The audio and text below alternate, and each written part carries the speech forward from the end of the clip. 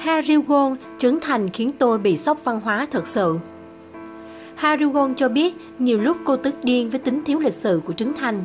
Trong tập 13 chương trình là vợ phải thế vừa lên sóng, không chỉ có các khách mời mà hai MC chính là Harry Won và Việt Hương cũng lần đầu chia sẻ về cuộc sống sau hôn nhân của mình cũng như những rắc rối họ gặp phải.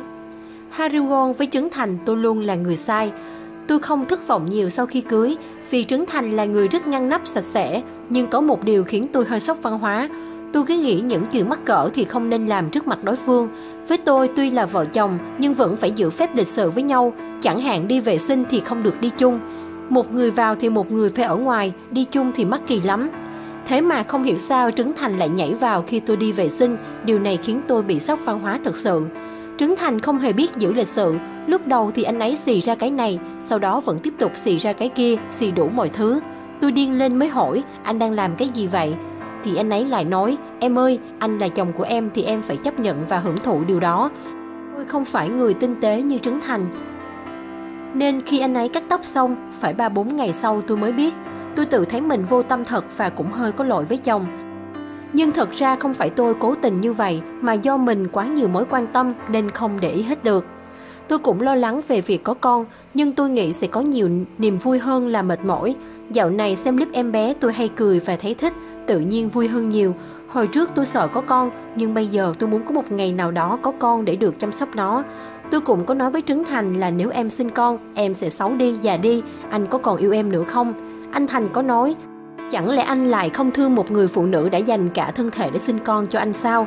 Nghe anh nói câu đó tôi cũng an tâm.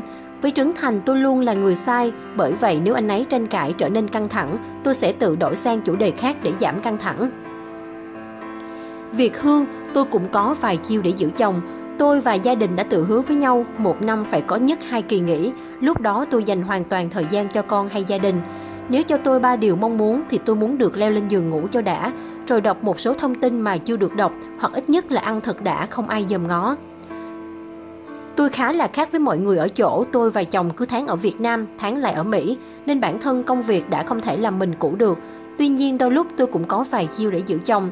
Chẳng hạn chồng tôi đi diễn thường có tài lẻ như đánh đàn piano, thổi kèn ca hát này nọ, nên nhiều khán giả nữ hâm mộ, họ thường chụp hình chung với chồng tôi rồi ghép vào một khung ảnh gửi cho chồng.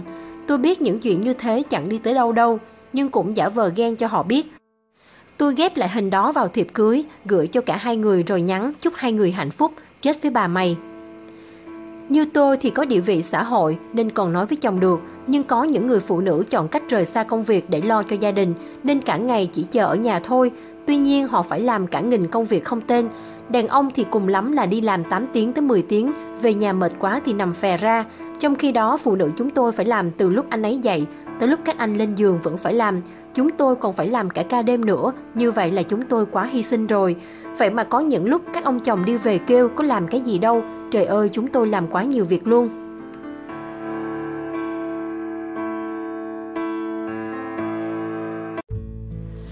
Giữa nghi án làm lành với Thu Thủy sau 10 năm, Yến Trang đang đàn bức xúc.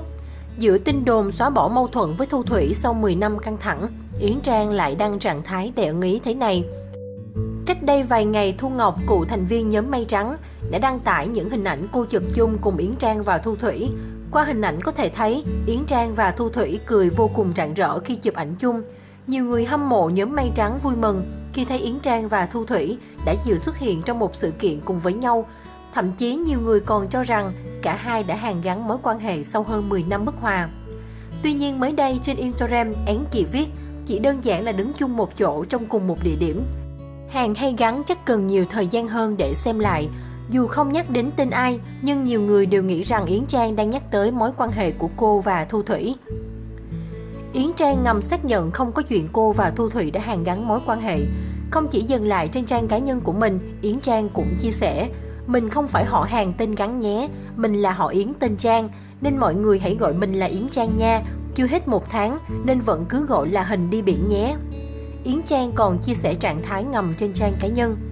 Bởi cách đây ít ngày, khoảnh khắc hai người đẹp xuất hiện bên nhau từng gây xôn xao công chúng. Trước đó Yến Trang từng tiết lộ có bức hòa với Thu Thủy khi cả hai còn hoạt động chung trong mây trắng. Yến Trang chia sẻ, tôi và Thủy đã rất lâu không còn nói chuyện với nhau, Ngay cả lúc gặp gỡ trong một số show diễn, sự kiện, hai đứa vẫn xem nhau như người xa lạ và không ai mở lời trước. Thú thật sau mọi chuyện tôi nghĩ việc gặp Thủy hòa giải lúc này chỉ còn mang tính chất gượng ép và không cần thiết. Mâu thuẫn giữa tôi và cô ấy không chỉ có một hai lần mà kéo dài từ khi cả hai còn trong nhóm May Trắng cho đến khi tách ra solo và thậm chí còn tiếp diễn cho đến thời gian gần đây. Rạn nứt của tôi và Thủy không liên quan đến tình yêu hay tiền bạc, chúng tôi chẳng giật bồ của nhau và cũng chẳng nợ tiền ai. Tôi nghĩ mâu thuẫn giữa hai đứa xuất phát từ sự cạnh tranh ngầm trong công việc. Bên cạnh đó, thông qua một số bạn bè đồng nghiệp, tôi cũng phần nào nghe được một số việc không hay mà người ta nói sau lưng mình.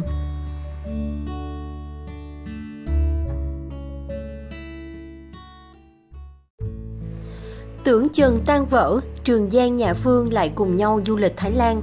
Không còn là lời đồn đoán mà Trường Giang đã qua tận Thái Lan cùng nhà Phương trong những ngày gần đây. Vài ngày gần đây, trên một diễn đàn chuyên đăng tải các thông tin về nghệ sĩ, đã bất ngờ chia sẻ hình ảnh đời thường của nữ diễn viên Nhã Phương. Thay vì những chiếc đầm lộng lẫy khoe sắc, tóc tai trang điểm kỹ lưỡng, thì đây lại là những khoảnh khắc trái ngược hoàn toàn. Được biết, cô nàng đang theo học một khóa tu tại Thái Lan vào những ngày cuối cùng Trường Giang cũng đến tận nơi để thăm bạn gái. Thông tin này đang làm cho người hâm mộ xôn xao khá nhiều.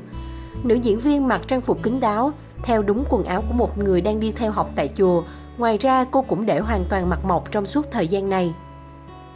Tuy nhiên, ai cũng nhận ra được Nhã Phương ngày càng hốc hác và gầy hơn rất nhiều. Nhan sắc và vẻ ngoài kém tươi tắn như thế này đã làm người hâm mộ phần nào lo lắng hơn. Khi khán giả chưa ngừng việc xôn xao, thì hình ảnh Trường Giang đi cùng Nhã Phương đã được đăng tải tiếp tục. Đây như lời khẳng định nam diễn viên hài sang thăm bạn gái là có thật, và dĩ nhiên chuyện cả hai chia tay là không hề xảy ra, họ vẫn hẹn hò sau nhiều ồn ào trong thời gian trước. Được biết, bức ảnh được chụp tại trung tâm thương mại Emporium Thái Lan, nữ diễn viên thả tóc diện trang phục màu tối, trong khi Trường Giang mặc áo thun trắng và quần đen. Đặc biệt cả hai ở nước ngoài nên chẳng cần mang kính mắt hay khẩu trang che kính mặt. Mười khó còn mang cả dép tổ ong, đây như là vật dụng huyền thoại của anh. Trước khi cùng đi Thái Lan, cả hai cũng bị bắt gặp cùng nhau đi ăn tại một quán bún riêu vỉa hè. Tưởng chừng như những tình tiết mà năm em bóc phốt về nam diễn viên hài sẽ khiến mối quan hệ này ảnh hưởng, nhưng có vẻ sự thật không như khán giả đang nghĩ. Thỉnh thoảng hình ảnh về cặp đôi này bị bắt gặp và đập tan nghi vấn chia tay. Đi cùng nhau, nhưng họ thường đội nón mang kính mắt để phần nào tránh đi sự chú ý của công chúng. Vừa bơm đểu Hương Giang chưa bao lâu, Hồng Quế lại quay sang ngưỡng mộ. Ba mẹ một con Hồng Quế bất ngờ xoay chuyển tình thế khi dành nhiều lời khen cho Hoa hậu chuyện giới quốc tế 2018. Những ngày vừa qua, cái tên Hồng Quế Hương Giang đã dần trở nên ồn ào trên các trang mạng xã hội. Trong show diễn thời trang của nhà thiết kế Hà Duy, anh lên tiếng tố cáo Hương Giang thiếu ý thức chảnh chọe. Phía bên dưới chia sẻ về sự việc của chủ nhân show diễn, người mẫu Hồng Quế cũng khẳng định muốn có được thành công phải tôn trọng bản thân và mọi người. Lời chia sẻ của Hồng Quế nhận phải chỉ trích từ phía cộng đồng mạng. Trước đòn tấn công ném đá của anti-fan, chân dài Hà Thành gay gắt, cứ cho là thấy đi, tranh cãi với một nhóm không có học. Cũng giống chủ thôi, càng sủa càng biết vô học, các em cứ nói thoải mái, chị và anh Duy càng nổi. Tuy nhiên, sau những phát ngôn đáp lại fan của Hương Giang, không học giống chủ, mới đây trong cuộc chia sẻ, bà mẹ một con hồng quế bất ngờ xoay chuyển tình thế khi dành nhiều lời khen cho Hoa hậu chuyển giới quốc tế 2018. Theo đó, Hồng Quế tự nhận trong việc này cô cũng có những điều không đúng, nhưng bản thân Hương Giang cũng chưa đúng. Tất cả người mẫu trong chương trình đều biết sự thật và tôi cũng không lên đây thanh minh. Mình đúng hay Hương Giang đúng, trong chuyện này ai đều cũng có lỗi sai. Lỗi sai của bản thân tôi nhận ở đây là đã quá nóng vội. Và sự nóng vội đó đôi khi gây thiệt thòi cho chính mình. Còn về mặt Hương Giang tôi sẽ không còn ý kiến nào nữa. Trong nghề đôi lúc sẽ còn gặp nhau, còn va chạm với nhau nhiều trên sân khấu hay những show sự kiện. Nhưng chuyện gì cũng sẽ qua nếu mình là người không để tâm tới. Có gì cứ nói hết ra rồi sau đó đừng để trong lòng, cô chia sẻ trên báo. Đặc biệt Hồng Quế còn cho biết đến thời điểm hiện tại cô không ghét mà dành cho Hương Giang ánh mắt ngưỡng mộ. Hiện tại tôi không ghét bỏ gì Hương Giang cả, tôi vẫn dành ánh mắt rất ngưỡng mộ đối với Hương Giang bởi cô ấy là người chuyển giới đầu tiên ở Việt Nam tôi phải công nhận đẹp hơn cả phụ nữ và khẳng định sự nỗ lực của Hương Giang rất nhiều. Có những lúc sự nóng tính của mình gây ảnh hưởng đến mối quan hệ thôi, còn giờ tôi không ghét bỏ hay oán trách Hương Giang vì chuyện đã qua rồi, Hồng Quế cho hay. Hồng Quế hy vọng câu chuyện này nhanh chóng qua mau và cô khẳng định mình rất ngưỡng mộ Hương Giang.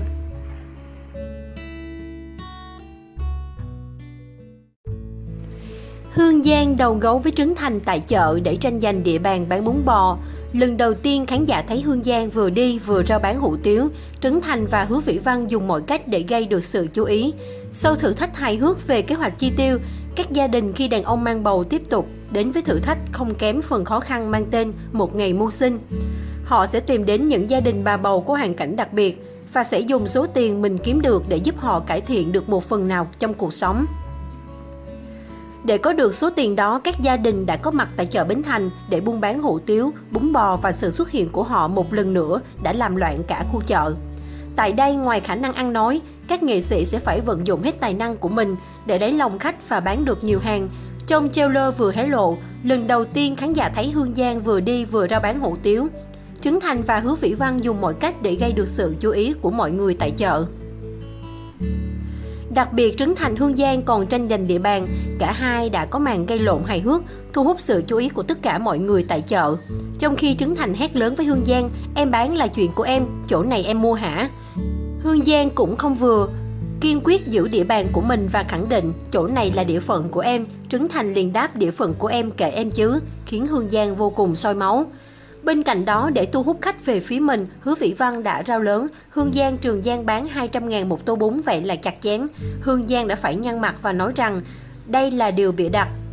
Đồng thời trong trailer cũng hé lộ việc các nghệ sĩ đã đến những gia đình bà bầu có hoàn cảnh kém may mắn. Sau khi tâm sự và nhìn thấy được cuộc sống của họ, Trấn Thành đã xúc động chia sẻ trên đời không có bất cứ công việc nào dễ dàng và khâm phục người phụ nữ đã phải mưu sinh trong hoàn cảnh khó khăn.